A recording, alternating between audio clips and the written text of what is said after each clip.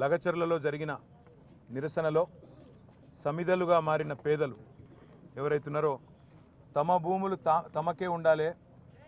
మార్కెట్లో అరవై డెబ్బై లక్షలు ఎకరానికి ఉన్న భూములు ప్రభుత్వం అడ్డికి పావు షేరుకు రియల్ ఎస్టేట్ దందా చేసేందుకు గుంజుకుంటామంటే మాకున్న జీవితాన్ని లాగేసుకుంటామంటే ఉన్న మొత్తం జమీన్ అంతా గుంజుకుంటామంటే అట్లెట్లా ఒప్పుకుంటామని చెప్పి తొమ్మిది నెలలుగా పోరాటం చేస్తున్న లగచర్ల హకీంపేట ఆ పక్కనే ఉండే రెండు తాండాల అన్నదమ్ములు ఆడబిడ్డలు నిన్న మొన్న ఈరోజు వరుసగా రాష్ట్రం మొత్తం చూస్తుంటే రోధిస్తున్నారు ఆక్రోషిస్తూ ఉన్నారు.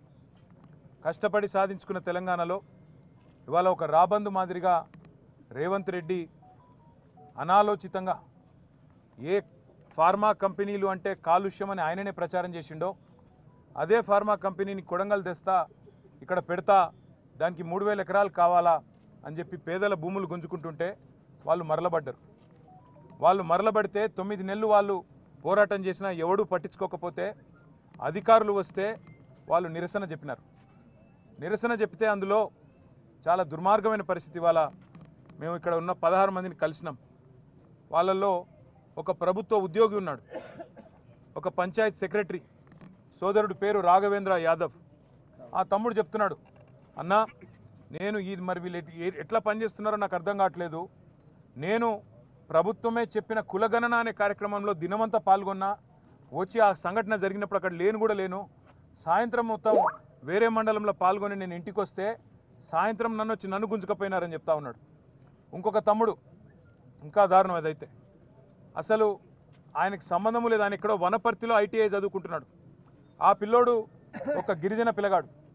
ఆయన బస్సు ఎక్కి వనపర్తిలో ఈ సంఘటన జరిగిన తర్వాత మా ఇంటోళ్ళు ఎట్లున్నారో అని చెప్పి సాయంత్రానికి చేరుకున్నాడు. సంఘటన అంతా అయిపోయిన తర్వాత ఆయనను పట్టుకపోయి ఈరోజు జైల్లో తీసుకొచ్చి పెట్టినారు.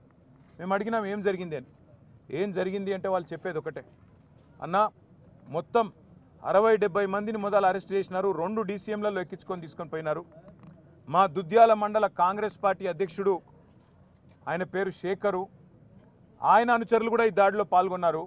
ఎందుకంటే కాంగ్రెస్ వాళ్ళ భూములు కూడా పోతున్నాయి. వాళ్ళ పేర్లు కూడా చెప్పినారు మాకు. రమేషు ఇంకా నాలుగు పేర్లు చెప్పినారు ఒకసారి పేర్లు. నరసింహులు. నరసింహులు రమేషు ఇంకా రాములు రాములు. రాములు నాయక్ అని కాంగ్రెస్ వాళ్ళు వాళ్ళ భూములు పోతుంటే వాళ్ళు దాడి చేసినారన్న. మొత్తం డెబ్బై మందిని తీసుకుపోయినారు ముందు. తీసుకుపోయినాక తిరుపతి రెడ్డి ఫోన్లో ఆదేశాలు ఇస్తున్నాడు. ఒక రాజ్యాంగేతర శక్తి ముఖ్యమంత్రి అన్న కావడమే ఆయనకున్న అర్హత. ఆయనకి ఏ పదవి లేదు. ప్రజాప్రతినిధి కాదు. కలెక్టర్లు ఆయన ముంగట మోకరిల్లాల.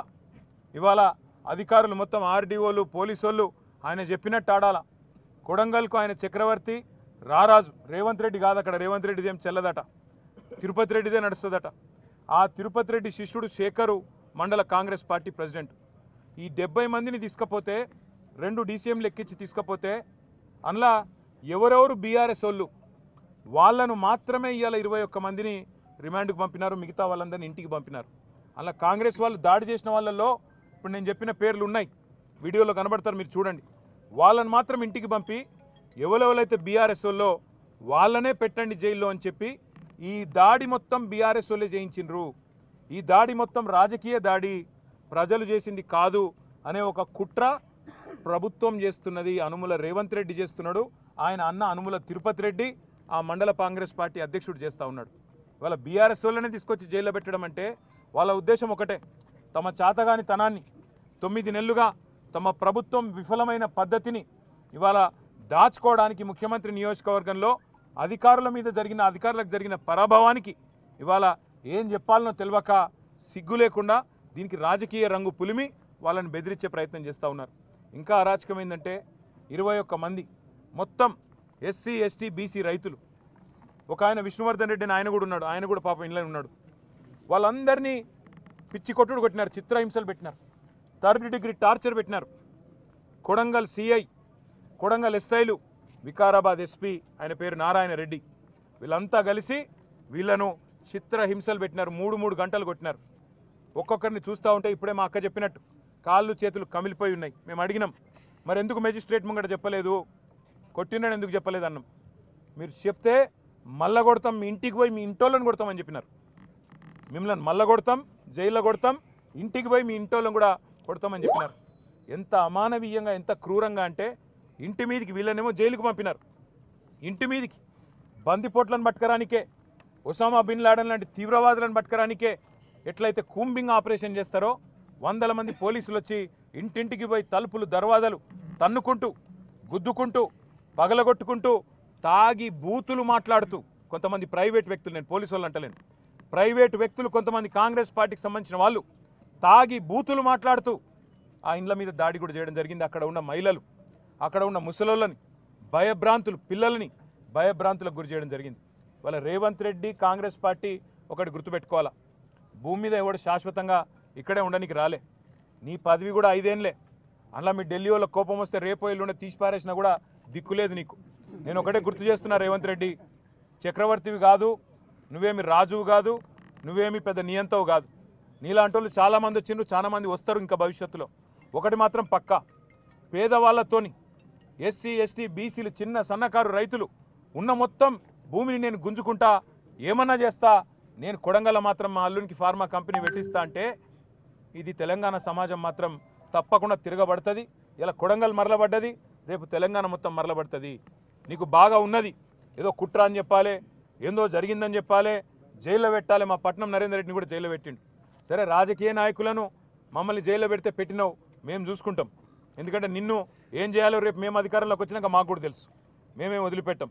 కానీ ఒకటి మాత్రం పక్కా. ఇవాళ ఈ ఇరవై ఒక్క మందిని ఎవరినైతే నువ్వు జైల్లో పెట్టినావో వాళ్ళ కుటుంబాలు వాళ్ళ ఉసురు నీకు నీ పార్టీకి తప్పకుండా తాకుతుంది. ఏ పేద ప్రజల ఓట్లతోనైతే కొడంగల్లో గెలిచినవో? ఏ పేద ప్రజలకైతే నాలుగు వందల ఇరవై హామీలు ఇచ్చి ఆరు గ్యారంటీలు నూరు రోజులని నమ్మబలికి అఫిడవిట్లలో సంతకం పెట్టి గెలిచినవో? ఇలా వాళ్ళ ఉసురు పోసుకుంటున్నావు చూడు. తప్పకుండా వాళ్ళ ఉసురు నీకు తాకుతుంది. నేను ఒకటే మాట చెప్తా ఉన్నా ఆ కుటుంబాలన్నిటికి కూడా. మీకు మొత్తంగా బీఆర్ఎస్ అండగా ఉంటుంది. తప్పకుండా ఇరవై ఒక్క కుటుంబాలను మిమ్మల్ని బయటికి తీసుకొచ్చేదాకా బెయిల్ మీద న్యాయ పోరాటం మేమే చేస్తాం. రాఘవేంద్ర యాదవ్ అనే తమ్ముడికి నేను చెప్పిన తమ్ముడు నా ఉద్యోగం ఏమవుతుంది అన్నా అని అడిగిండు. నీ ఉద్యోగం ఏం కాదు. రేవంత్ రెడ్డి మెడలు వంచైనా సరే నీ ఉద్యోగం అవసరమైతే సుప్రీంకోర్టు దాకా కొట్లాడతాం. నీ ఉద్యోగం పోనీయం తమ్ముడు అని చెప్పిన. అట్లాగే మిగతా తమ్ముళ్ళు కూడా ఎవరైతే భయపడుతున్నారో ఇవాళ తిరుపతి రెడ్డి దౌర్జన్యాలకు పోలీసు వాళ్ళ దురాగతాలకు భయపడుతున్నారో వాళ్ళకు కూడా నేను విజ్ఞప్తి చేస్తా ఉన్నా. మిమ్మల్ని ఇంతకంటే పీకేదేం లేదు. ఇప్పటికే కేసులు పెట్టిండ్రు అటెంప్ట్ మర్డర్ కేసు పెట్టిండ్రు ఇక జైలు అనేది తెచ్చి పెట్టిండ్రు ఇంతకంటే మీకేం పీకేదేం లేదు ఇంకా. ఉరి శిక్ష వేసేదైతే లేదు. ఆడ జరిగిన దాన్ని ఏదో దానికి మసిపూసి మారేడుకాయ చేసి పెద్దగా చేసే ప్రయత్నం చేసి తన అసమర్థతను తన చేతగాంతనాన్ని తన చేవలేనితనాన్ని ఇవాళ రేవంత్ రెడ్డి కప్పిపుచ్చుకునే ప్రయత్నం చేస్తూ ఉన్నాడు. ధైర్యంగా ఉండండి. ప్రజాస్వామ్యబద్ధంగా కొట్లాడదాం. అరవై డెబ్బై లక్షల ఎకరం విలువ చేసే భూమిని పది లక్షలకి అడ్డికి పావుషేరు గుంజుకుంటానంటే తప్పకుండా మీకు అండగా మేముంటాం. న్యాయస్థానాల్లో కూడా మీకు అండగా మేము నిలబడతాం. ఎవ్వరు కూడా బెదిరించినా ఎందుకంటే వాళ్ళు భయపడుతున్నారు. బయటికి వచ్చినాక బెదిరిస్తారన్నా మళ్ళీ కేసులు పెడతారన్నా మళ్ళా జైలుకు పంపుతారన్నా మేము సంతకాలు పెట్టాల్సి వస్తుందేమో అన్నా అని చెప్పి వాళ్ళు భయపడతా ఉన్నారు. వాళ్ళకి మేము అదే చెప్తా ఉన్నాం బయట ఉండే ఇక్కడ సంగారెడ్డిలో కూడా మొన్న న్యాల్కల్లో ఇక్కడ కూడా మొన్న ఆందోళన జరిగింది. రేవంత్ రెడ్డి అనాలోచిత నిర్ణయాల వల్ల. ఫార్మా సిటీ అని కేసీఆర్ పెడితే హైదరాబాద్ దగ్గర పద్నాలుగు వేల ఎకరాలు సేకరిస్తే అది వద్దు రద్దు అక్కడ రియల్ ఎస్టేట్ దందా చేస్తా మా అన్నగాళ్ళకు అక్కడ మా తమ్ముళ్ళకు నేను భూముల సమర్పణ చేస్తా ఫార్మా విలేజ్ల పేరిట ఇక్కడ సంగారెడ్డి నియోజక సంగారెడ్డి జిల్లా న్యాల్కల్లో అక్కడ కొడంగల్లో ఇంకా అట్లనే మిగతా తెలంగాణలో కూడా ఒక ఇరవై ఫార్మా విలేజ్లు పెడతా అని చెప్పి ఏదైతే ఇవాళ రేవంత్ రెడ్డి కొన్ని వికృతమైన అనాలోచితమైన ఆలోచనలు చేస్తూ ఉన్నాడో ఈ విషయంలో సంగారెడ్డి రైతులైనా సరే నాల్కల్ రైతులైనా సరే కొడంగల్ రైతులైనా సరే ధైర్యంగా ఉండండి. మీకు బీఆర్ఎస్ ఉన్నది మీకు కేసీఆర్ ఉన్నాడు మర్చిపోవద్దని చెప్పి నేను విజ్ఞప్తి చేస్తా ఉన్నా. మీకు ప్రజాస్వామికంగా రావాల్సింది న్యాయంగా రావాల్సింది ఇప్పించేదాకా మేము మీకు అండగా నిలబడతాం. వీళ్ళు ఎన్ని అక్రమ కేసులు పెట్టినా ఎన్ని అక్రమ నిర్బంధాలు చేసే ప్రయత్నం చేసినా తప్పకుండా అవి మేము ఎదుర్కొంటాం. ఇవాళ సంగారెడ్డి కేంద్ర జైల్లో ఇవాళ వాళ్ళందరినీ కలిసిన తర్వాత మాకు అనిపించింది ఒకటే.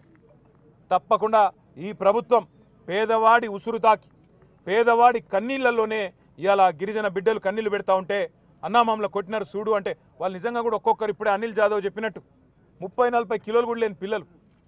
వాళ్ళు పాపం మాల్ న్యూట్రిషన్తో బాధపడే పిల్లలు. బట్టలు కూడా చక్కగా లేవు. వాళ్ళు కలెక్టర్ను కొట్టినరు అటెంప్ట్ మర్డర్ అని పెట్టడానికి నీకు మనసెట్లా ఒప్పింది రేవంత్ రెడ్డి నేను అడుగుతా ఉన్నా. చాతనైతే మాతోని కొట్లాడు.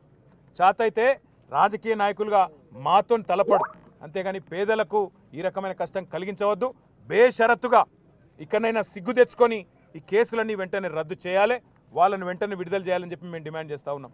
దాంతోపాటు ఇంకా రాష్ట్ర వ్యాప్తంగా ఫార్మా విలేజ్ల పేరిట సంగారెడ్డిలో కావచ్చు ఇంకొకడ కావచ్చు ఏదైతే ఇవాళ పేదల నోళ్ళు కొట్టే ప్రయత్నం జరుగుతుందో తప్పకుండా అక్కడ కూడా బీఆర్ఎస్ పార్టీ పేదలకు అండగా ఉంటుంది రైతులకు అండగా ఉంటుంది అనే మాట కూడా మీకు చెప్తూ ఆ కుటుంబాలన్నిటికి కూడా మేము బయట కూడా మా అక్క కూడా ఇప్పుడే చెప్పింది ఒక ప్రెగ్నెంట్ అమ్మాయి ఉంది అందులో జ్యోతి అని. రేపు సత్యవతి రాథోడ్ గారు స్వయంగా ఆ అమ్మాయిని హాస్పిటల్ కూడా తీసుకొని పోతా ఉన్నారు. ఇది బీఆర్ఎస్ పార్టీ యొక్క మానవత్వం. ఇవాళ బీఆర్ఎస్ అనే పార్టీ ఈ రాష్ట్రంలోని పేద వర్గాలందరికీ అన్ని రకాలుగా అండగా ఉంటుంది. ఏ కష్టం వచ్చినా మేము ఉంటామనే మాట మళ్ళొక్కసారి చెప్తూ మరి మీకు కూడా మీడియా మిత్రులకు గత రెండు రోజులుగా ఈ సంఘటన అన్నింటిని కూడా కవర్ చేస్తున్నందుకు మీకు కూడా ప్రత్యేకంగా ధన్యవాదాలు నమస్కారాలు. జై తెలంగాణ. జై తెలంగాణ.